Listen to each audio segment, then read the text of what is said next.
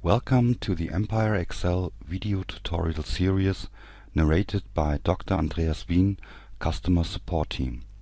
I will give you a basic introduction on how to start with the software. In this video the lumped port sources are explained.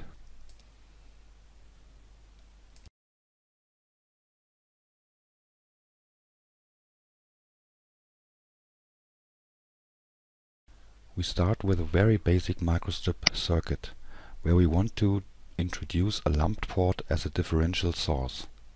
We open the group lists and look for the microstrip elements which are available in the group conductor. We copy this group to obtain a new group with the same height. In this group we want to create the lumped port.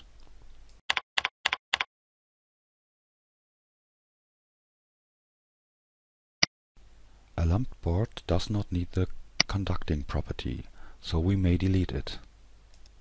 Now we create the lumped port from this library. Here we select the in-plane port, which is best suited for connecting conductors which are in the same plane. At first we specify the direction of the port. At the next step we enter starting point and length of the port. Here we use the mouse input and make use of the snap function.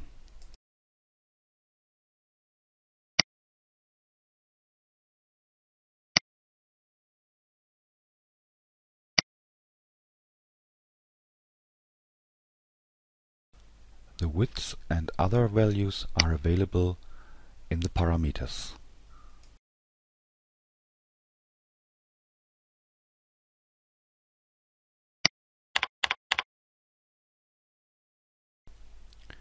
Port number and excitation mode can be set here.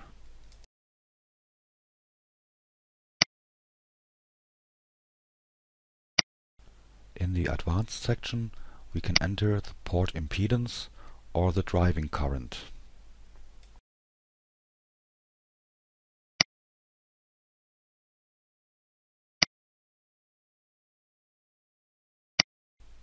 Now the definition of the port is complete. The port can now be found in the components list.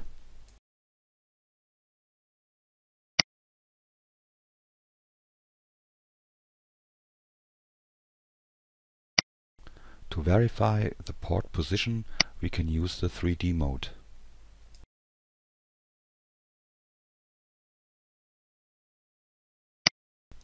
Now let's remove this port. As a next step we want to create a port between signal and ground metallization. First we clean up unused groups. Next we make a copy of group substrate because it already contains the right height information.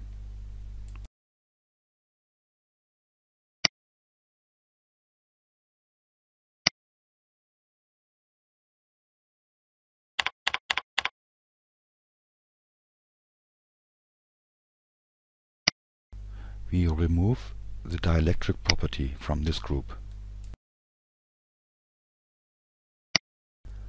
Now we insert the perpendicular port, which is well suited to connect top and ground metallization. The two points specify the cross-section of this port.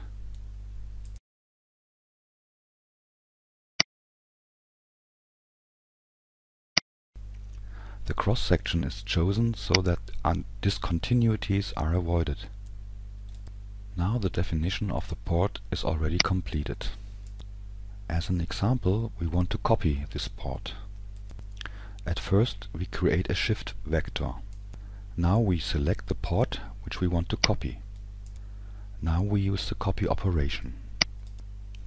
And now we want to modify the port parameters. After selecting, the required button is available. Here we can enter the desired values.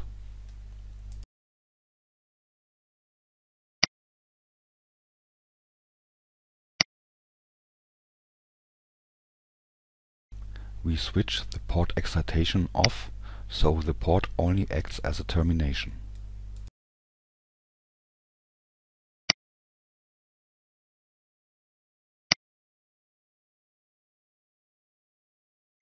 Again, we verify our input in the 3D mode.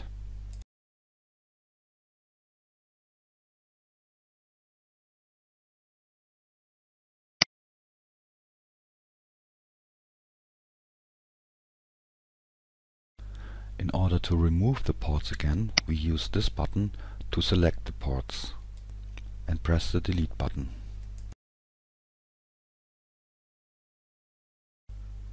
The next part will show the creation of feedline ports. Thank you very much for your attention. If you have any question or comments, please contact your local support team. We highly appreciate any feedback or suggestion on further topics.